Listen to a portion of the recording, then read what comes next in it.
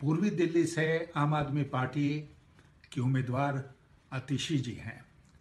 उनके बारे में शायद आपको पता होगा कि दिल्ली सरकार ने अपने कार्यकाल के दौरान सरकारी स्कूलों में जो सुधार लाया है और जो नाटकीय ढंग से उनकी जो गुणवत्ता है, उसमें सुधार आया है, उसके लिए आतिशी जी को बहुत श्रेय जाता है।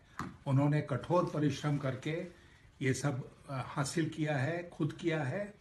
और मुझे लगता है कि आतिशी जी, जैसे व्यक्ति की आवाज़ संसद में गूंजनी चाहिए, शिक्षा के प्रश्न पर उनका बहुत बड़ा योगदान रहेगा राष्ट्रीय स्तर पर। इसलिए मैं आप लोगों से अपील करता हूँ कि उनकी जो, उनका जो, उनकी उम्मीदवारी का समर्थन करें और भारी बहुमत से उनको पूर्वी दिल्ली से चुनकर संसद में भेजें।